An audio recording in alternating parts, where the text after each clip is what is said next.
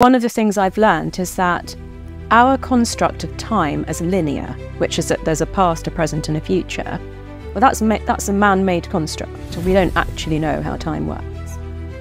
Uh, a lot of the first American nations believe that time happens in a spiral. And so, as you are progressing through your life, you are passing by times and things and people that you've passed by before. And most people just have blinkers on and aren't aware of that at all.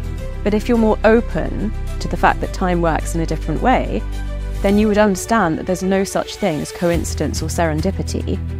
It's because you're mentally passing through places that you've been past before. At the same time, or you're going back in time, or well, it's no, not at the. You're not going back in time. I don't think we can do that yet, but you're passing close to, you know, let's call it memories or emotions or intuitions that we're not normally, they're not in our brain. They might be, what we're thinking now is that the brain is filtering our mind down to survive in this material world, and that actually our consciousness could be much bigger than that.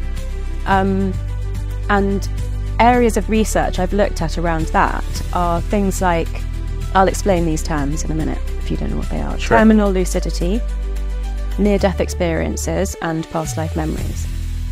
So, terminal lucidity is when someone who's got dementia or they've had a stroke or a brain injury suddenly becomes completely lucid. So, they go from not recognizing their own children, not even knowing that they have children anymore, to suddenly saying, Lewis, son, come here. I want to say something to you that's really important to wow. me. And usually they die within one to 24 hours of that happening.